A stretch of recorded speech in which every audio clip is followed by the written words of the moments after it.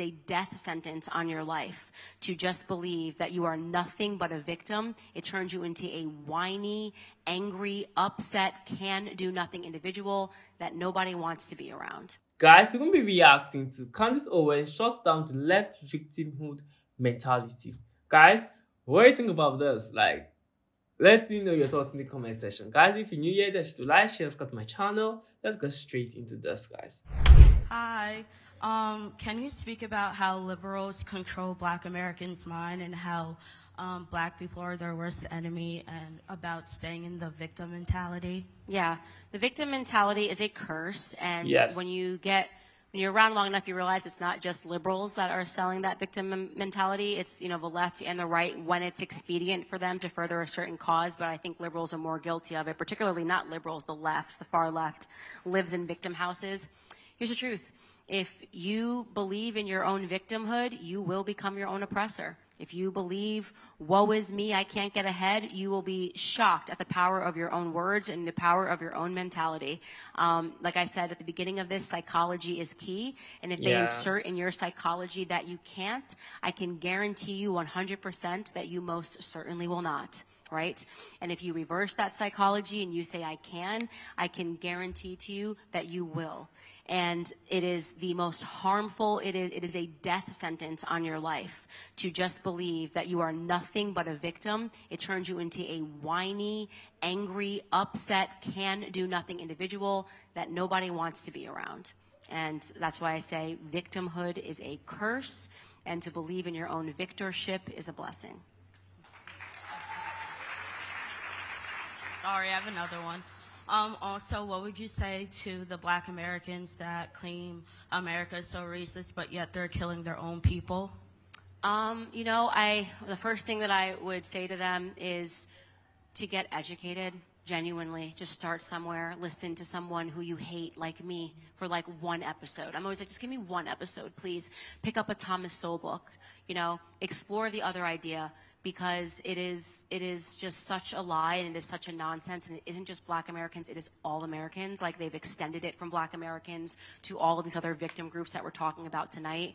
And the more that you get into history, you realize that the issue was never black on white, tall on short, men on women. It was always the government trying to drive people apart. So education is, is the key to everything.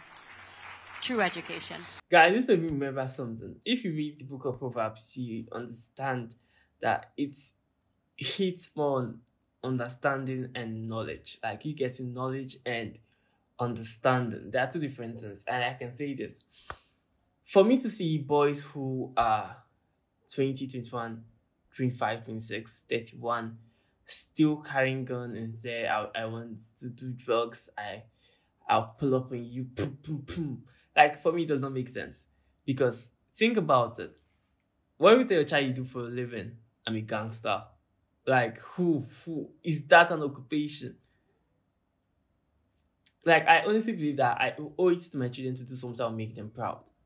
And you've seen, maybe you come out and you try to say, "My dad is a engineer. My dad is a this. My dad is a content creator." Even if I think it's kind of girly, but like at least he's doing something legal to make his money, not you doing something illegal and bro, it's sad. And like I honestly believe that black have this victim mentality, sombre. But I can say right now it's let's say last 10 years it was there, but right now I think it's less than 20% or it's there in some people's brain, but like it's not really that strong anymore because I'll say a lot of people have found this kind of closure that I'm not, I'm not a victim. I am strong. I am black. I can. This is a gift, not a curse. And I can do anything I want to do. When Candace Owens said the government is the one against us, there was a day watching history of slavery Africa, and I honestly saw the fact that yo, white actually did not like do some shit. Like we were selling ourselves, and I can see it. The kings or the ruler, we just okay. I'm gonna give you a thousand people, take them and give me gold drinks, bro.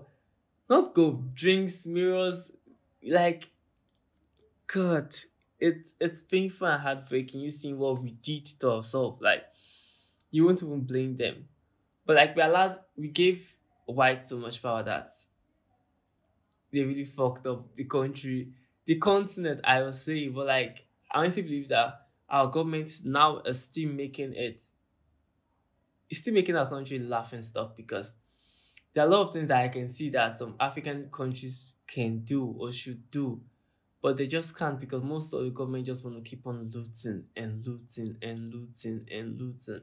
More like we're losing our culture right now because recently the Nigerian president actually said vote a bill that is going to promote LGBTQ in Nigeria, which is heartbreaking because, bro, I'm not saying that those people don't have rights, but this is not our culture. And some people might say it's growth, but like I honestly believe it's because of the loan he was about to collect. I think 150 billion. Bro, then you this this is me just being saying that this is sad, but I know a lot of people have different thoughts about this, but don't like, share, subscribe to my channel, leave your thoughts in my comment section. I'll see you next time, guys. Bye.